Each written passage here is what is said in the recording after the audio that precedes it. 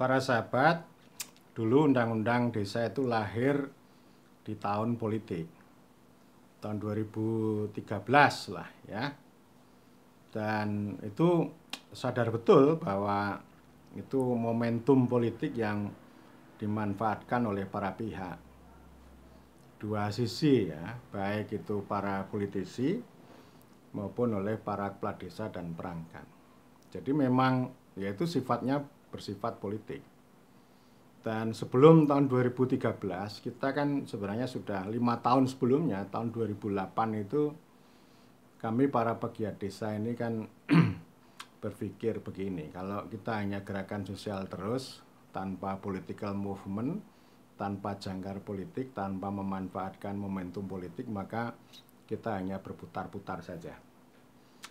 Dan karena itu ini penting untuk mencari jangkar politik memanfaatkan momentum politik. Salah satunya ya kita memanfaatkan jalinan dengan Budiman Sujatmiko yang maju eh, menjadi legislatif menjadi DPR pada tahun 2009.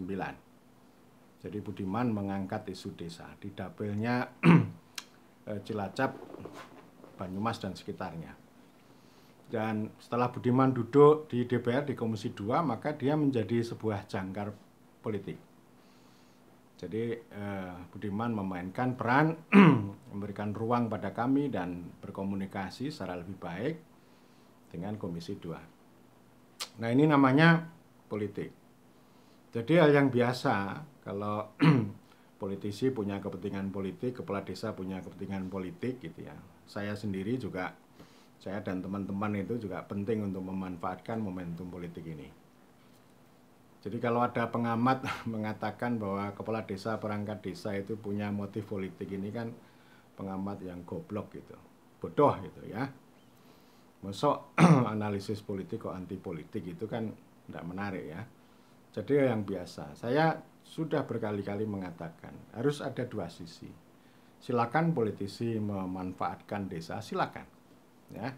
Silakan kepala desa eh, apa para juragan-juragan politik termasuk menteri itu memanfaatkan kepala desa menjadi mesin politik. Tidak jadi soal. Tetapi juga harus berimbang bahwa kepala desa juga harus memanfaatkan mereka. Ya. Jadi momentum politik, jangkar politik ini harus dimanfaatkan. Itulah yang namanya mutualisme begitu. Dan itu politik itu begitu. Itu manusiawi, itu sudah hukum malamnya itu sudah begitu.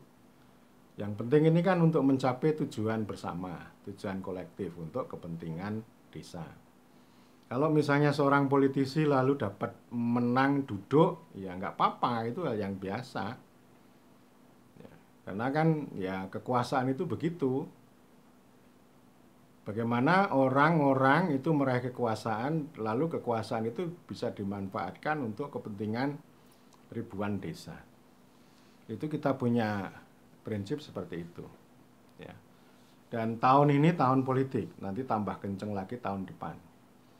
Saya nggak tahu nanti pergerakan Eh, bulan Mei yang akan datang ini ya. Dan ini saya katakan sebagai bagian dari repolitisasi desa yang sudah saya katakan. Bahwa para kepala desa itu sangat waras dan sadar kalau mereka melakukan aksi, melakukan gerakan, ya itu sedang melakukan negosiasi tawar-menawar dengan pemerintah maupun parlemen maupun DPR ya. Itu hal yang biasa gitu. Karena itu saya ingin mengatakan bahwa pemilu, ya, pemilu tahun depan, pemilihan presiden, pemilihan legislatif, itu kita manfaatkan sebagai momentum politik bagi desa. Tentu melalui pergerakan kepala desa dan perangkat. Ya kita e, mengulang kembali lah pengalaman yang sebelumnya. Kita manfaatkan harus berkomunikasi dengan para calon presiden, negosiasi itu jadi ya perkara nanti apa namanya janjinya itu di dikianati itu soal soal kesekian dusta itu soal sekian tapi paling tidak ini momentum politik ini harus kita manfaatkan secara sadar dan waras ya dan kami mendukung gitu ya jadi artinya eh, ada gerakan, ada pengetahuan yang digabung, nah itu harus masuk ke ranah politik kebijakan. Jadi ada negosiasi lah. Nanti eh, ada platform yang diuruk, yang diusung oleh para calon, baik calon presiden maupun calon apa parlemen DPR RI itu memperjuangkan kepentingan desa ini, ya. Jadi ini apa namanya supaya tidak hanya dimonopoli oleh satu partai atau satu orang saja. Bahaya itu. Jadi saya uh, sudah mengatakan ya dan masih akan saya dalami lagi. Jangan sampai ini isu revisi undang-undang desa ini hanya dimonopoli oleh satu orang yang sebenarnya uh, me memperalat, mendustai atau menindas desa. Jadi saya juga pernah mengatakan bahwa percuma kalau masa jabatan kepala desa itu 9 tahun tapi dia diperalat menjadi mandor proyek dana desa. Itu sangat tidak menarik. Dan para kepala desa sadar betul bahwa yang mereka perjuangkan itu adalah kedaulatan desa. Kewenangan kepala desa. Jadi kalau tuntutan 9 tahun masa jabatan itu hanya menjadi bagian kecil dari itu. Itu bagian dari tendangan politik supaya diperhatikan oleh banyak orang. Dan itu terbukti ketika para kepala desa ngomong 9 tahun, per, apa, responnya luar biasa. Yang mencaci maki luar biasa. Tetapi memang itu saya nilai sukses, nggak jadi soal. Para pihak itu melakukan eh, kontra itu hal yang biasa. Tetapi pengalaman sesudahnya, ketika Abdesi dan apa PPDI maupun Apetnas menuntut apa 10% APBN untuk dana desa ini kan tidak memperoleh respon yang ramai oleh para pihak ya. Saya nggak tahu ini ya. Itu suasana kebatinan politik orang Indonesia itu kan begitu. Jadi artinya kalau ini berkaitan dengan policy untuk kemakmuran untuk keadilan ya orang itu nggak akan peduli. Tetapi kalau soal jabatan, wah itu baru peduli ya.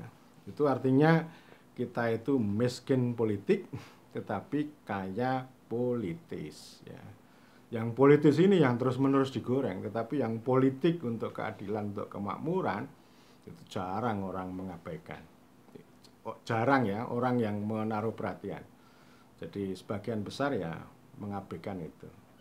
Dan karena itu ini repolitisasi itu maksud saya ya momentum politik ini yaitu ya pada ranah politik tadi ya kalau yang politis itu ya hanya untuk gula-gula saja lah soal masa jabatan itu ya itu menjadi salah satu fitur. Tetapi yang paling penting ya memperjuangkan keadilan untuk dan kemakmuran bagi desa. Jadi nanti bisa kita galang kembali. Ini hari-hari ini meredup ya.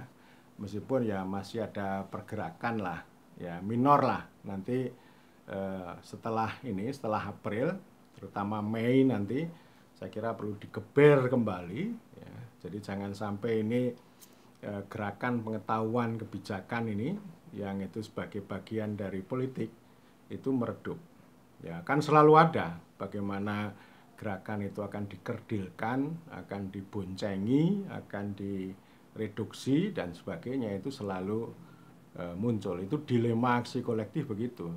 Ada para pihak yang e, pengen perubahan dengan cara berjuang, tetapi juga ada para pihak yang pengen menikmati kenikmatan tanpa harus berjuang.